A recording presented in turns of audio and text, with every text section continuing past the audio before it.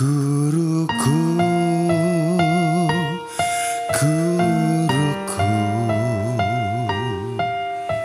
engkau sesungguhnya pahlawanku.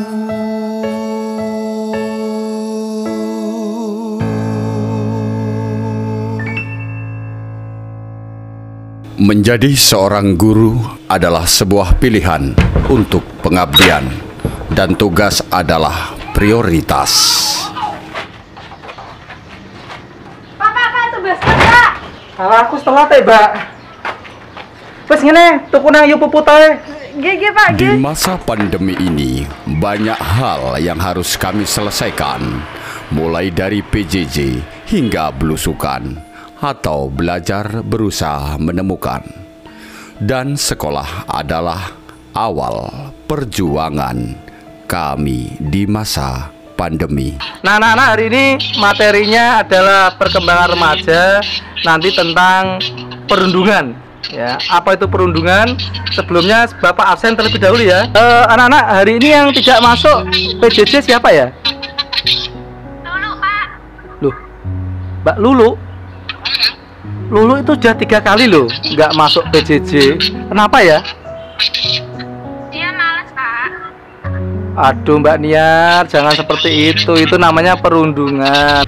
Ya akhirnya saya dan Pak Heri Prasetyo selaku guru BK mengkoordinir kemudian melakukan mapping pemetaan wilayah eh, keberadaan siswa-siswa kita yang berada di desa-desa itu. Ya udah anak-anak eh, untuk pelajaran PJOK hari ini selesai. Jangan lupa patuhi protokol kesehatan, rajin belajar, rajin ibadahnya, patuhi kedua orang tua dan terima kasih. Wassalamualaikum warahmatullahi wabarakatuh. Ada satu hal yang sangat menarik. Ternyata Lulu itu rumahnya jauh banget. Lulu Desa Pilang. Waduh, pegunungan. Ah, gak apa-apa. Kalau ada teman yang atau tim yang pas kebetulan di mapping atau pas pemetaan dapatnya wilayah yang jauh, ya gimana lagi ya tetap mesti harus dilaksanakan karena memang itu bagian dari konsekuensi. Nah kita mungkin ke sana baru sekali lah murid kita udah berapa kali tuh hampir tiap pagi datang gitu. Gimana Pak Adit? Besok jadi ke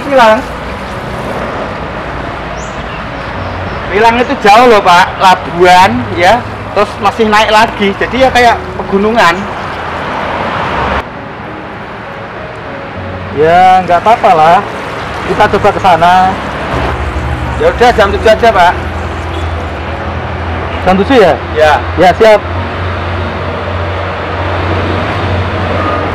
Ya kalau semuanya dilaksanakan dengan ikhlas, kemudian niat ibadah dan pengabdian seorang guru, saya yakin dengan jarak seperti itu tidak ada artinya.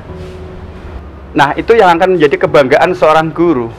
Ketika kita sudah melakukan sebuah eh, pengabdian dengan penuh keikhlasan, melaksanakan tanggung jawab sebagai seorang guru kepada siswanya, itu menjadi sebuah kebanggaan yang menjadi catatan prestasi bagi seorang guru.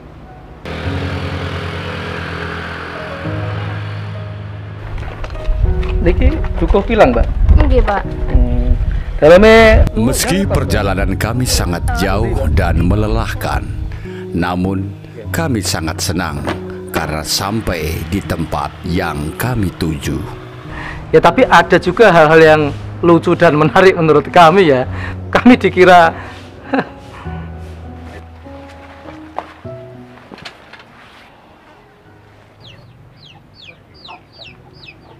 Duh, bangnya gue renang rene orang bayaran pak mirene pak ora kaise orang bayaran tadi.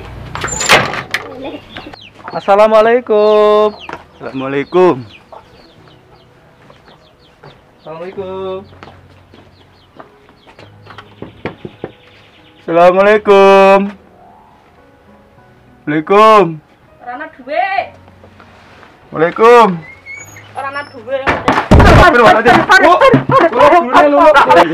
pantune Pak, sepurane Pak. Rumah kula madha utang Pak. Monggo Pak. Pak. Nggih, nggih. Kula gurune lulu, Mbak. Nggih. Sepurane Pak, rumah kula niku wau bang nagih utang Pak. Boten, boten, Pak. boten, Pak. Nggih monggo Pak pinarak Pak. Nggih, nggih, Pak, nggih, nggih. Pak, nggih Pak. Daleme lulu nggih, Pak. Ngene iki. Nggih Pak, niki Nggih. dileme lulu nggih. Sepurane Pak, nggih keadaane ngeten Pak griyane. Dulu eh wonten niki, Bu. Lulu. Menawi niku salat. Lu. Ya Allah, muliakanlah kedua orang tuaku dan guru-guruku. Lu. Lu, Nggih, Mak. ana guru mrene. Hmm.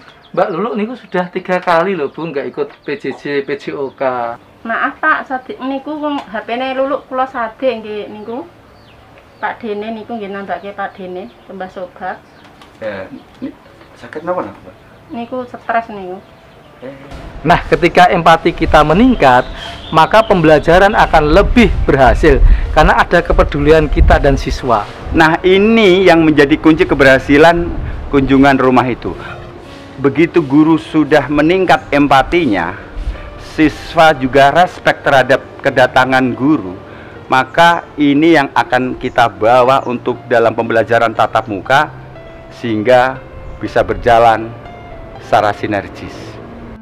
Eh, home visit di masa pandemi ini melibatkan semua guru dan eh, sasarnya adalah semua siswa. Jadi ini tidak dibebankan hanya kepada guru BK saja, tapi ini semuanya guru bersinergi, berkolaborasi, semua- semuanya bersama-sama untuk eh, mengunjungi siswa eh, di tempat tinggalnya masing-masing. Boten ditebaske kuota, Pak. Pun wale, Nggih. lebih sepi pak, boten pendamelan pandemi ini Hmm. kita nganggur. Nganggur nggih. Nggih. Menurut saya, saya senang sih Pak adanya eh, program World Visit ini. Ibu saya juga sangat senang dikunjungi oleh Bapak Ibu Guru. Biasanya kan yang datang ke rumah kan teman-teman. Lah, ini ternyata Bapak Ibu Guru.